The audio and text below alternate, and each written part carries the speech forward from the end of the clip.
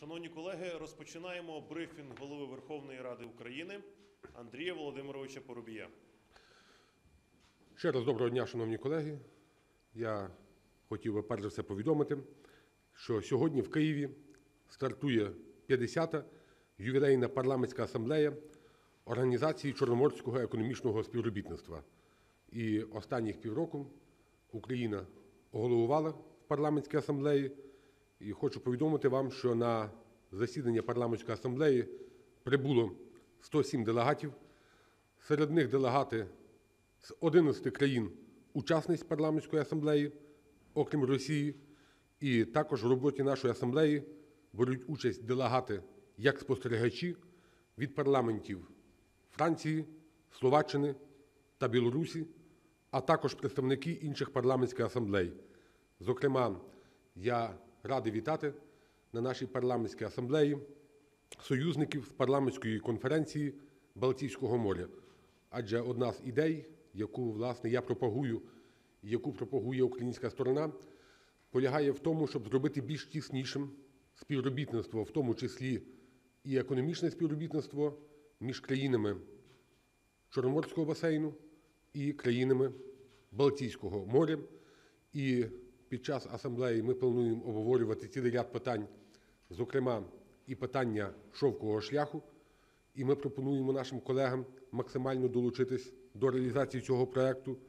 І, власне, сьогодні вже відбулось два перших робочих засідання. Це бюро і комітету ПАЧЕС, на яких було затверджений порядок денний асамблеї, яка відбудеться завтра приміщенні Верховної Ради України. І, власне, завтра о 10 годині відбудеться відкриття пленарного засідання Генеральної асамблеї ПАЧЕС, а в четвер ми плануємо завершити це засідання.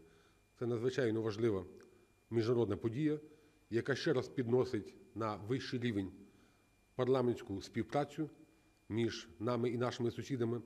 Нагадаю, що попереднього засідання, яке відбувалося в Стамбулі, українській делегації вдалося відстояти дуже важливу позицію в декларації, яка стосується окупації і порушення суверенітету країн нашого регіону. А це стосується не тільки України, а стосується також і Грузії, частина території якої є на сьогодні окуповано, стосується і Молдови. І нас підтримує в тих ініціативах і Азербайджан. І, власне, завтра однією з головних документів, політичних документів, теж буде прийняття і підписання декларації Парламентської асамблеї ПАЧЕС.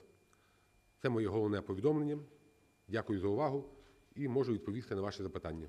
Шановні колеги, маємо час для кількох запитань. Будь ласка, піднімайте ваші таблички, щоб ми мали, щоб ви знали, хто ставить запитання. Будь ласка, еспресо запитання. А з приводу наступного сесійного тижня два слова про найважливіші, на вашу думку, законопроекти, які будуть занесені по регламенту парламенту, і які, на вашу думку, мають е, шанси на голосування цієї проекти. В двох словах не вдасться відповісти на ваше питання, оскільки вироблення порядку денного процес складний. Тим більше ми цього року маємо дуже амбітну ціль, яку ми узгодили з урядом. Ця амбітна ціль полягає в тому, щоб не відкладати прийняття бюджету до останніх днів пленарних, а щоб ми змогли перейти до розгляду бюджету в другому читанні вже наступного пленарного тижня. Тобто задум мій полягає в тому, щоб в четвер ми змогли розглянути і зміни до бюджетного кодексу, і зміни до податкового кодексу, і відповідно перейти в розгляд бюджету в другому читанні. Я не впевнений, чи нам вдасться це зробити протягом одного робочого дня, але ми зробимо все можливе, наголошую, все можливе, щоб це не було в четвертій, п'ятій ранку, як вже стало традицією в українському парламенті, щоб це не сталося в останні дні року, щоб місцеві бюджети змогли спланувати свої бюджети на місцях. І головне наше питання на наступний тиждень це прийняття бюджету. Це четвер. На вівторок ми маємо величезну кількість пропозицій. Хочу нагадати, це закон про деокупацію, який має понад 600 правок, і комітет по ньому вже прийняв рішення. Тобто ми маємо його в порядку денному.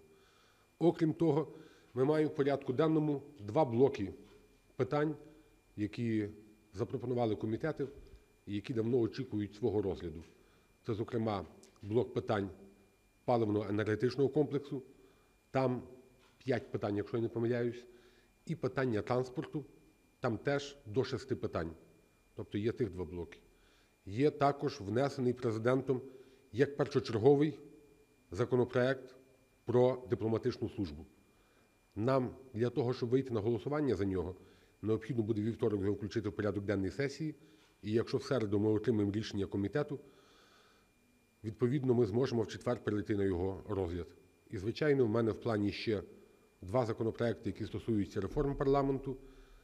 Це ті законопроекти, які передбачають скорочення кількості комітетів з наступного скликання, а також способу розподілу комітетів між фракціями за методом Деонта. І це теж ті законопроекти, які потребують швидшого прийняття. Головна наша нарада буде в четвер. І, власне, в четвер ми будемо приймати кінцеве рішення, як буде виглядати нас наступний тиждень. Можу лише вас запевнити, що планів набагато більше, аніж реального часу для прийняття рішень. І я розраховую, що ми зможемо з фракціями під час остаточної наради скласти максимально оптимальний порядок денний, який би зміг парламент об'єднати. І дуже розраховую на те, що наступний тиждень буде плідний, ефективний і, як завжди, результативний. Дякую вам. Прошу ще запитання. Будь ласка, Уніан. Андрій Володимирович, е, ці розбірки, які зараз відбуваються в так званих ЛНР ДНР, чи вони можуть вплинути якийсь на мінський процес з вашої точки зору, і чи вони взагалі тут можуть вплинути на ухвалення закону про реінтеграцію? Чи це взагалі не поєднує? Ви знаєте, розбірки між банд-угрупуваннями, які діють на території, яка тимчасово не контролюється українською владою, ніяким чином не можуть вплинути на законодавчі ініціативи українського парламенту. Без сумніву, що ці розбірки і мають під собою кримінальний економічний характер, але також використовуються Москвою для збільшення свого контролю над тимчасово окупованими територіями. Але наголошую ще раз, ні в якій мірі вони не можуть вплинути на рішення українського парламенту, на наше визначення тих територій як окупованих і на визначення Росії як країни-агресора. Дякую вам. Будь ласка, 112 канал. Телеканал 112 Євгеній Куроленко сьогодні Служба безпеки заявили про те, що Росія готує фальсифікації на вибори в Україні в 2019 році. От як ви вважаєте, якими можуть бути фальсифікації, якими можуть бути методи, прокоментуйте, будь ласка, наскільки це може вплинути на результат виборів? Дякую. Перш за все, з днем народження. Сьогодні вашому каналу 4 роки, і напевно ми всі разом можемо привітати вас сьогодні з активною діяльністю, в тому числі в українському парламенті. Стосовно інформації Служби безпеки, на моє переконання, що російські спецслужби весь період, та зрештою і на Майдані, і після Майдану, проводять дуже потужні кампанії по дестабілізації в нашій країні. Ці кампанії стосуються різних сфер життя. Мені весь час пригадується той етап, коли я працював секретарем Ради національної безпеки і оборони, і мені доводилось вивчати матеріали російських спецслужб з приводу того, як вести гібридну війну. І мені запам'ятались слова одного з доповідачів, який зазначив, що в країні об'єкті нападу необхідно, я зацитую по-російськи, сеять недовольство любого типа. Сеять недовольство любого типа. Тобто підсилювати будь-які настрої незадоволення і гіперболізувати їх для того, щоб максимально дискредитувати і українську державу, і український поступ. Але теж можу ствердити, що за тих 4 чи 3 роки роботи нашого парламенту всі ці спецоперації не мали жодного успіху на території нашої країни. І я переконаний, що сплановані в Кремлі будь-які провокації і будь-які сценарії, які стосуються чи виборів, чи роботи найвищого законодавчого органу України, не будуть мати ніякого успіху. Дякую вам. Прошу, будь ласка, інтерфакс. Давайте. Як просувається питання в парламенті, в парламенті, чи варто очікувати до кінця року призначення голови Національного банку і Активно просуваються дані питання. Вже більше року просуваються. Ви знаєте, якось питання кадрові найважчі для вирішення ну, в парламенті. Я це говорю вам відверто, бо я пригадую, скільки мені довелось докласти зусилля банально для того, щоб новообраних депутатів було обрано відповідні комітети, щоб вони банально могли мати свої робочі місця і могли повноцінно працювати. Кадрові питання викликають особливу дискусію і особливі такі емоції в залі. Але тим не менше, я дуже розраховую, щоб ми зможемо в, е, в останній пленарний тиждень цього року вийти на ряд кадрових питань. Я навіть не буду означувати, яких саме, бо ви знаєте, який їхній перелік є. Це є склад ЦВК, це є рахункове, це є уповноважених е, справ людини, це є Національний банк, це є цілий такий набір кадрових боргів, які має Верховна Рада, які мали би їх давно вирішити згідно законодавства. Я не хочу наперед давати обіцянок і давати передбачень, оскільки це справа невдячна.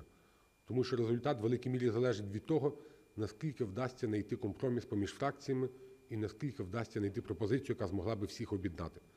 Але якщо ми цей тиждень плануємо як тиждень бюджетний, то наступний пленарний тиждень я розраховую і буду наполягати, щоб увага українського парламенту була сконцентрована також і на кадрових питаннях. Дякую дуже, колеги. Шановні журналісти, дякуємо за увагу. Гарного вечора. Всього найкращого.